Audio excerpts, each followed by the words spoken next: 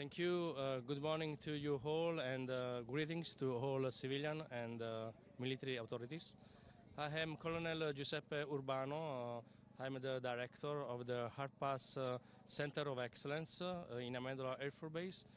The RPAS COE, it is an Italian Air Force entity with joint value.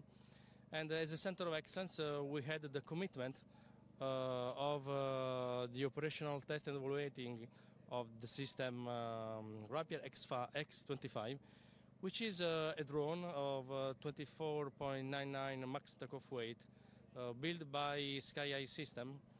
And uh, this drone, uh, it is a drone uh, capable to climb up to 10,000 feet with an endurance of about uh, 10 hours. Uh, it is mainly for the purpose of um, ISR uh, operations, so intelligence, surveillance, and uh, uh, reconnaissance uh, uh, operations. The pilot. the pilot will enable the launch, and the operator that is close to the ramp, he will command the launch. But the pilot is, is the guy, okay, that is enabling the launch. Okay, so we are uh, seeing the, the launch.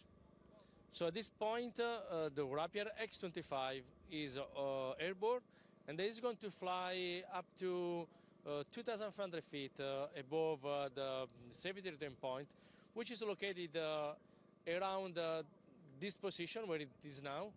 It is basically north of the runway, above the runway.